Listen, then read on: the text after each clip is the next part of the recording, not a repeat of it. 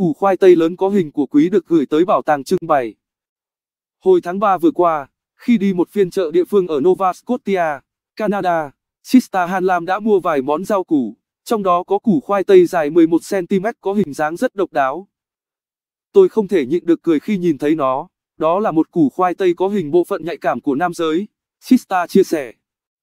Ban đầu, Sista định nấu thử món gì đó vui nhộn với củ khoai tây độc lạ này, nhưng bạn bè cô khuyên rằng, hãy thử bán nó.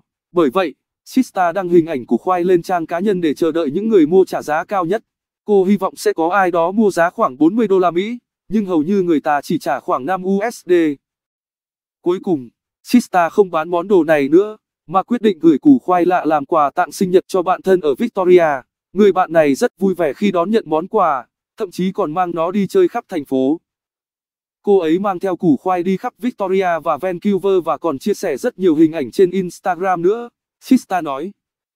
Điều bất ngờ cuối cùng đã xảy ra, người quản lý của bảo tàng Icelandic Phallological, bảo tàng trưng bày dương vật lớn nhất thế giới, đã viết thư ngỏ ý muốn trưng bày củ khoai tây độc đáo kia.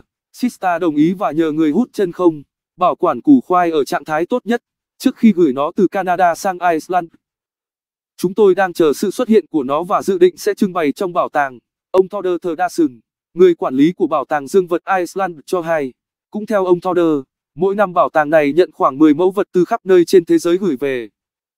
Bảo tàng Icelandic Phallological còn được biết tới với tên gọi bảo tàng dương vật, nằm ở Iceland, từ lâu trở thành điểm đến không thể bỏ qua khi tới thành phố Reykjavik. Đây là nơi trưng bày bộ sưu tập lớn nhất thế giới các dương vật và bộ phận dương vật từ 93 động vật trên thế giới, có cả của con người. Mẫu dương vật lớn nhất tại đây phải kể tới của một con cá voi với chiều dài 170cm, nặng khoảng 70kg. Mỗi năm, bảo tàng đón khoảng 11.000 lượt khách, với 60% là du khách nữ. Nhiều người cho biết, họ khá bối rối khi lần đầu chứng kiến nhiều mẫu của quý độc lạ đến vậy. Huy Hoàng Theo news trên WK